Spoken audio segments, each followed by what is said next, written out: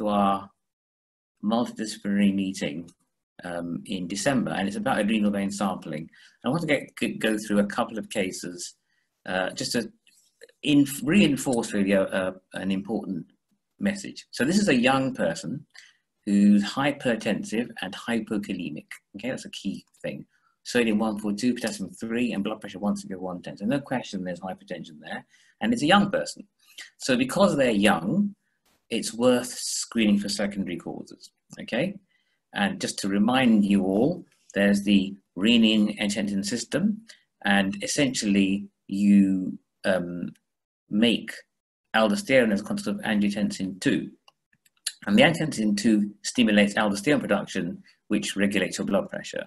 Now, if you have an adrenal tumor, then your problem is a primary tumor that's making aldosterone, which is high, and that in turn will increase your blood pressure and suppress the renin. So the key thing you want to see in someone with Conn syndrome is a high aldosterone with a suppressed renin. Okay, um, so that's what you'd find in Conn syndrome. And just bear in mind that as we get older, there is a higher and higher risk of bilateral adrenal hyperplasia as a cause of um, a Conn syndrome. Okay, so idiopathic bilateral hyperplasia. So here's a question that I want you to ask you. Which do you think is more common at this age? Um, if I can find, answer that. Okay, you've got two choices. An adrenal, aldosterone-producing adenoma, this is on your phones again, or idiopathic bilateral hyperaldosteronism. Um, let's just go back. Yeah, which is more common?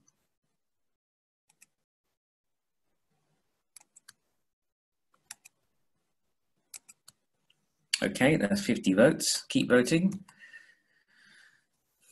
Okay, so in fact, 32 of you think it's an APA, and only 26 have voted for what I think is the right answer, which is bilateral adrenal hyperplasia. And I know it gets more and more common in older people, but in fact, it's so much more common that it depends how you screen. Okay, so if you present with hypertension and hypokalemia as your primary problem, then you'll see this. So, so, so the white bars are the number of cases that were referred before 1995 to all these big centers.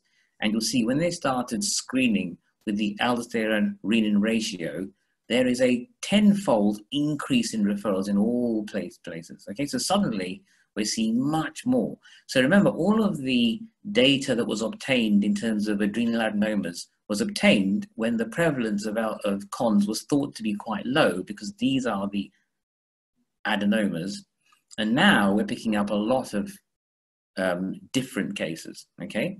And so the other thing they've found is that since they changed and since we're screening, we're finding much less hypokalemia.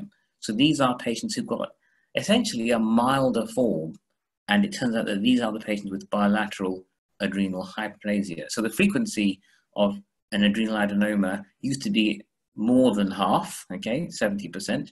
But as soon as we started screening, now we're picking up lots of idiopathic bilateral disease. So what you are seeing now, because you are now working after 1995, we are seeing a lot of people who have got bilateral disease. Okay, you've got bilateral disease, you can't have an operation. Okay, so right from the start, we're picking up people who cannot have surgery as a treatment because they've got bilateral disease. So that is a key uh, message for the patients that we're seeing okay, increasing numbers of bilateral disease, bilateral adrenal hyperplasia. So it depends how your patient's referred. If you screen a hypertension clinic, you'll pick up a lot of bilateral disease. If the patients present with severe hypertension and a very low potassium as their primary problem, then they're more likely to have a true Conn's adenoma that can be treated. So bear in mind that this change in emphasis means that the, the thought that is really, really common, that tumors are very common, is incorrect. The tumors are pretty rare. And I've been digging around to find some papers, and basically it looks like now 50 to 70% of patients have got bilateral disease. Okay, and within a hypertension clinic, so this is from one clinic, they had 6% of patients who had primary hyperaldosteronism, and of those, 65% had bilateral adrenal hyperplasia. Okay, so that's important because it means that our guidelines with regard to surgery will not be helpful for people who have got bilateral disease. So there's an algorithm for what we should do. Patient hypertension that increasing for primary aldosteronism. So that's because they're hyperkalemic. So you need to decide if it's likely or unlikely. And we, for example, a younger person is a bit more likely to have primary hyperaldosteronism. So you then have some screening tests, then you have some confirmatory tests, um, such as an, a suppression test with saline. So the screen test is the ratio. There's a small false positive rate there. We use the confirmatory test to try and confirm it, but that has got a false negative rate. And so you've always got to bear in mind your your suspicion. So if they, for example, have a low, low potassium, that would make me more suspicious. Okay, and then you decide if the patient wants surgery. Now, I think this is in the wrong place because if the patient doesn't want surgery, you don't need to do a CT because the purpose of a CT is to see where the lesion is, okay? The diagnosis is a biochemical one. Still, the guidelines say do a CT and then say, do you want an operation or not? I'm not quite sure why that is. If the patient doesn't want an operation, then you don't need to do anything. You can just treat the patient, whatever the cause, unilateral or bilateral disease. If they don't want surgery, the treatment is spironolactone or eplerenone. But if you do want surgery, then you need to decide if the patient has unilateral disease, which is the only thing that's treatable. If it's bilateral, then we're back to spironolactone. Okay, so that's a really, the, the, key point about venous sampling is not to decide which side the tumor is on. Okay, it's to decide if the patient has or has not got bilateral disease. That is the purpose of venous sampling. So this is the patient, and I've got some more results now. This is the patient who hypertensive, a bit hyperkalemic, was three, remember, aldosterone 510 with a suppressed renin. Okay, so the guidelines say if the ratio is more than 2000, which it clearly is, then it's likely. And if it's less than 850, it's unlikely. And in the middle, there's a big range of 850, 1750. Anyway, all tests have a risk of being false positive and negative, so we need to do further testing. So this is the further testing, okay? And essentially, if you give someone saline and the potassium is normal, if there's a tumor there, you should not be able to suppress the aldosterone. And if it goes below 140, that makes it very likely to not be common syndrome, not be a primary tumor making aldosterone. If it doesn't fall below 280, then it's very likely to be a, a common syndrome, either unilateral or bilateral, and if it's between, in between, then we're not really any further forward. Okay, so we just have to use your prior probability thoughts. So this patient looks like they have got primary hyperaldosteronism, but we don't know if it's bilateral or unilateral. So as we always do, we're going to find out which side the tumor is on, or if they haven't got one at all. So first of all, you'd say to the patient, it, you might have a source of aldosterone, a tumor, or it might be bilateral. If we find a tumor, do you want to remove it or do you want to stay on tablets? And there are some patients who I'm absolutely not having an operation, then that's fine. Then we should treat them medically just like we treat essential hypertension, but perhaps treat the aldosterone with, with spironolactone or eplerenone. Um, but we know the patient has got biochemical Conn syndrome and it could be unilateral or bilateral. Okay, so that's the choices. So I'm going to ask you what you'd like to do. If the patient says, um, I'd like to,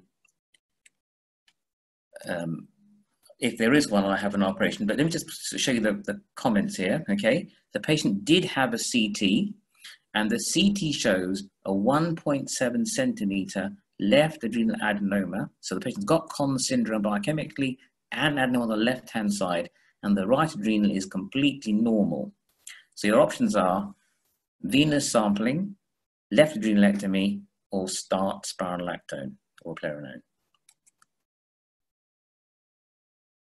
Okay, there's a visible left 1.7 centimeter adrenal adenoma.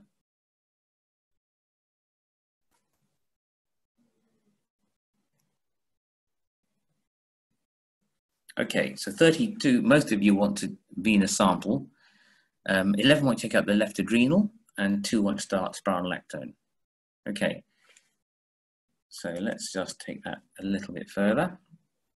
So we did go on to venous sampling because we have it available. And really, I want to know that the right normal adrenal isn't making any aldosterone. So you cannulate both adrenals. Um, the right adrenal hooking around here is a particularly difficult thing to do, um, but sometimes they can't get over alive. And there, there's the, my visible lump, okay, that we talked about. Okay. Um, so we've done all these things. So here are the results, okay? And as you can see, the left to adrenal ratio is very, very high, aldosterone to cortisol ratio. So the cortisol, first of all, is higher than the IVC on the right and the left, so we know we're in. And then the aldo on the left is 50,000, on the right is 2,000. And here are the ratios, 6.3, 1.1, and 2.3. Okay, I will show those ratios again, but I just want to ask you, okay, so on your, phone, on your phone, you'll be having these three choices. So given these numbers, the left adrenal ratio is 6.34, the IVC is 2.3, and the right adrenal is 1.1. So your options are take up the left adrenal, take up the right adrenal, or start medical therapy.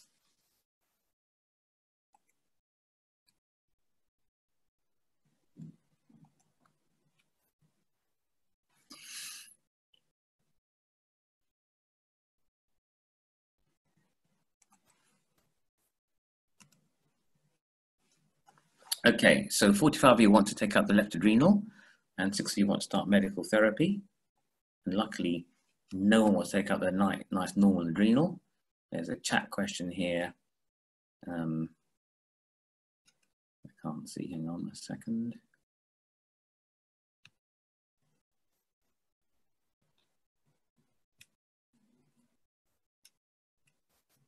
I'll come back to that. I can't find the question, I'm afraid. Okay. Um, so yes, so that's what uh, would normally happen. The left adrenal clearly has a very high ratio. The right adrenal is suppressed, and this is the key. So if the right adrenal ratio is less than the IVC, then you can see the right adrenal suppressed. And we have also found sometimes that the, I mean, our guidelines say if you want to be really specific, then the right adrenal ratio needs to be, the other adrenal needs to be less than half. It's just under half, 2.3, that'd be 1.15.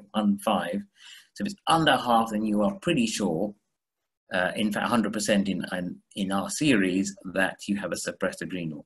If it's between uh, half and one, so if it's like 2.3, um, I'll show you a case in a minute, then it's not quite so clear cut. But this is a very clear cut right adrenal suppression. So the, the real purpose of this venous sampling is to prove the right adrenal is suppressed. Okay, that's what really matters, not the fact that the left adrenal got a high number. That doesn't matter at all. And I'll just see what you think. Because what happens in real life, of course, is that sometimes we can't cannulate one of the vessels. Okay, so in that patient, the patient had a left adrenalectomy and there was a 70 millimeter nodule, and the patient was basically cured, to summarize a long story. And here's the question did we need the angiogram? Maybe not. If the patient had that left adrenal taken out, um, and so it needs a radiologist to say this is likely to be the source, and that's also agree that right adrenal looks completely normal, not even a bit nodular. This patient would have done okay without venous sampling. Okay. Now, supposing we can't get into the right adrenal, this is a common scenario because getting around that corner needs a very special radiologist. Okay, and sometimes it just they just can't get in. So I want you to tell me what you think we do if you had this scenario, right, where the left adrenal was nice and high, the IVC was 2.3, but the right adrenal cortisol was the same as the IVC. So we know we're not in because the cortisol is the same in the IVC and in the right adrenal. And so the right adrenal ratio is also the same. So basically, that's not right. That's another IVC. So all you've got is a left adrenal sample. Okay, so I want you to now vote if we don't count the right adrenal, which of those things would you do?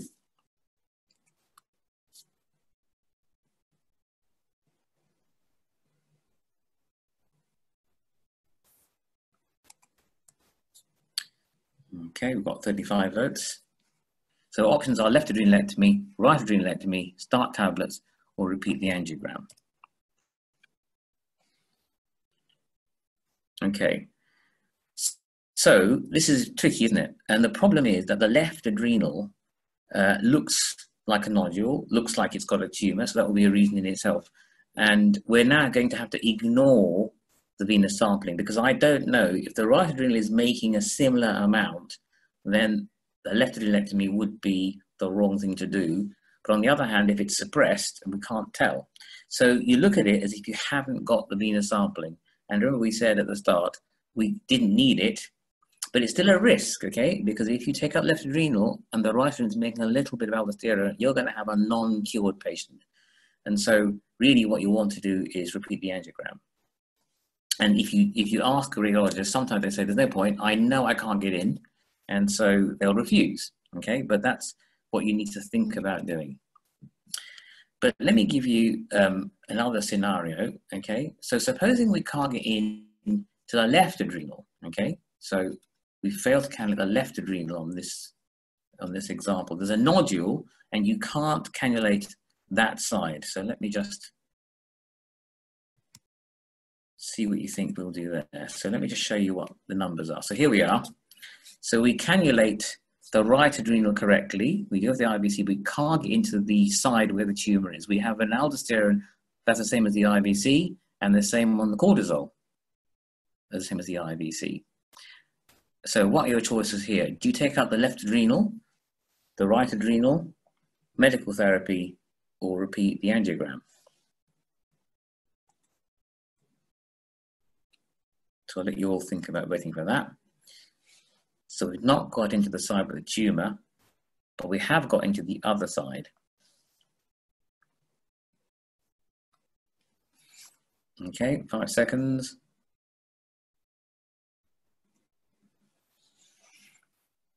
Yeah, okay, so in this scenario, okay, repeating the angiogram is definitely not needed, okay, because we know that the right adrenal is suppressed. So you have proven that the contralateral adrenal is not making aldosterone.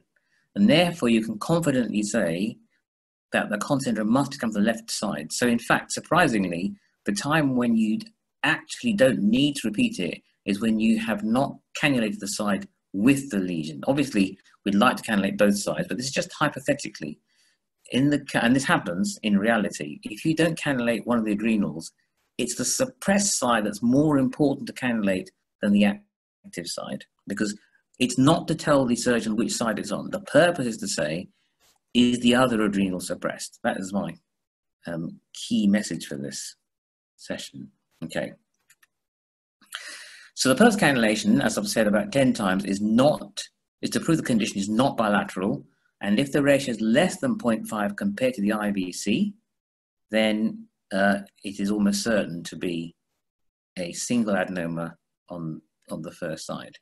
Now I'll just show you another case that surprised us, uh, just to drive that point home before we finish. So this was another patient who had really typical Conn syndrome, okay? Hypertension and hyperkalemia, and it was consistent and persistent. And a CT scan showed a right-sided nine millimeter adrenal nodule and the left side looked normal. So the patient had a venous sampling, so there was a right-sided lesion, okay? And the lines, the lines were in, and you can see the cortisol levels compared to the IVC, which is a bit low, are higher, and therefore we think we're in.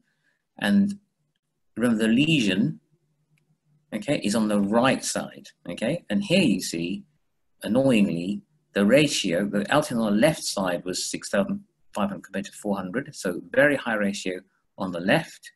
The right adrenal was partly suppressed, but remember I said less than half of 3.2, which isn't quite there. Now, some guidelines say if it's less than 3.2, this is unilateral disease. So according to some guidelines, this is quite clearly a left adrenal source. According to other guidelines, it's bilateral disease because this 3.0 is not sufficiently suppressed. So that was a bit of a quandary because the lesion on the scan was on the right hand side. So what happened, in fact, was I went through with the patient and she lost total confidence in us because she said, "You don't know which side is on. You're clueless." And so she basically DNA'd for some years. And I put her on spironolactone um, through the GP, and she was all right on that. Okay, so just to summarize what I've said, according to the guidelines, the endocrine side of the guidelines, it could be unilateral because they say the ratio should be less than one. Um, but according to our experience, we'd say that the ratio should be less than a half, and therefore we're a bit, bit a little bit more worried, and therefore because it's 0.94 and discordant, we managed on medical therapy. And she didn't have surgery, and then she DNA'd, and then she had family illness, so she was on spironolactone for some time. And then um, she came back to clinic saying, I don't like spironolactone. Can I have that tumor removed? And I then realized we didn't know which side it was on. And so I thought, let's repeat the venous sampling two years later. So here we go, we do it again. And this time um, we're in, here's a cortisol. So the IVC is 139, the left adrenal is 630, the right is 800. So we're definitely in. And the ratio, unfortunately, is higher on the right and on the left. And so this patient has clearly got bilateral adrenal hyperplasia. And therefore, surgery is definitely not going to help this patient because it will, if you take one adrenal out, they'll be exactly the same. And of course, we can't take both adrenals out because it'll make her more likely to die of an Addisonian crisis. So I think that was the clue. The fact was nodular on the right hand side at the start, it should have worried us, and it did worry us. And luckily, we didn't take out any adrenals. So she basically isn't cured and is on long-term medical spironolactone treatment, which she's not happy with, but it's the best that we have. So just to summarize really, um, we did reinvestigate her, but we clearly know she had got bilateral disease. And this case, this suggests really that we need to be a bit stricter with the criteria for suppression of the other adrenal. And really go by your um, prior probability. So if the potassium is very low, that would make you think a bit harder and look a bit more carefully. But once you've got bilateral disease, then surgery is not an option. And I'll leave it there and say thank you very much all. And I think it's four o'clock, just about.